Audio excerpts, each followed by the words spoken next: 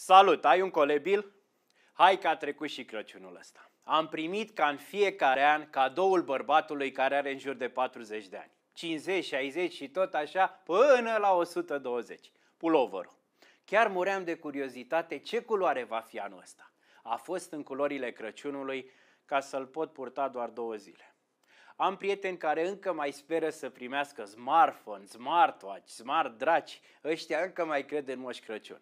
Eu, unul, urăsc cadourile care nu sunt de mâncat. Singurul concurs la care am participat în toată viața mea a fost unul de șah. Premiul cel mare a fost un telefon mobil. Locul 2 primea căști wireless, iar locul 3 un coș cu bunătăți. Îmi amintesc și acum cât de tare m-am enervat că am luat locul 1 și m-am rugat de la de pe locul 3 să facem schimb. Ghinionul dracului, am dat de unul mai buflei ca mine și abia l-am convins. Ia prostule mobilul, care Candy Crush Saga, e jocul ăla cu bomboane.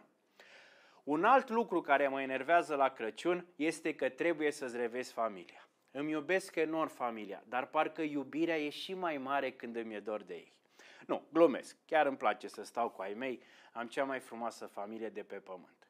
Dar nu știu dacă ai observat că în orice familie reunită, dacă stați mai mult de două zile împreună, începe jihadul. Care-i faza? Prima zi e minunată. Ne revedem, ne luăm în brațe, ne pupăm, desfacem darurile de sub pom. A doua zi e și mai frumoasă pentru că începe lupta între femeile din familie. Care a gătit mai bine? Concurează nevastă mea, mama, soacră mea, bunică mea, abia aștept să crească și fică mea, iar eu sunt Scărlătescu.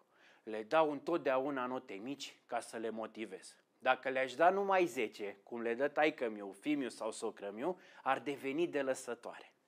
În fine, să recapitulăm.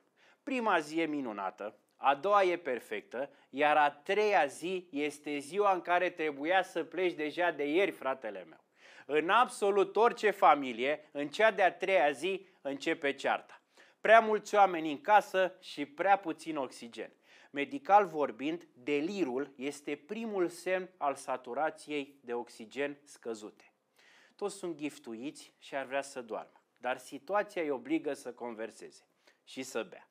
De-aia fiecare Crăciun începe cu Doamne ce dormi era de voi și se încheie cu al dracului să fie ăla care o mai călca pe aici.